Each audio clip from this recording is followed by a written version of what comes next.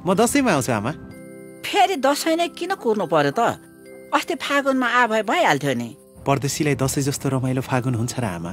गायकबाट नायक बनेका प्रकाश सपुत अभिनीत फिल्म परदेशी दुई यो वर्षको दशैंमा रिलिज हुनुपर्ने हो तर प्रेम गीत तीन र दुई नम्बरीको बीचमा पर्ने भएपछि यसका निर्माता राजेश बन्सलले फिल्मको प्रदर्शन मिति फागुनको पाँच गते पुर्याए तर फागुनको पाँच गते पनि फुलबारी फिल्म रिलिज हुने भएपछि यसका निर्माता बन्सलले रिलिज गर्न सकेनन्। दुई पटकसम्म अन्य फिल्मको डरले निर्माता बन्सलले आफ्नै प्रोडक्ट माथि विश्वास गर्न सकेनन्। अब यो फिल्मका नायक प्रकाश सपुत र कलाकार रमा थपलियाले एक भिडियो तयार गरेका छन्। यो भिडियोमा प्रकाशले धेरै समस्या भएकाले अब भने कार्तिक तीन गते दशैंमा आउने बाचा गरेका छन्। प्रकाशले यस अघि पनि पत्रकार सम्मेलन गरेर फिल्म उनासीको दशैंमा आउने बताएका थिए। यसकारण अब आउने दशैंमा पनि यो फिल्म रिलिज हुन्छ भनेर पत्याउने आधार छैन। किनकि यो मितिमा फिल्म पशुपति प्रसाद दुई भस्मे डन रिलिज हुँदैछ।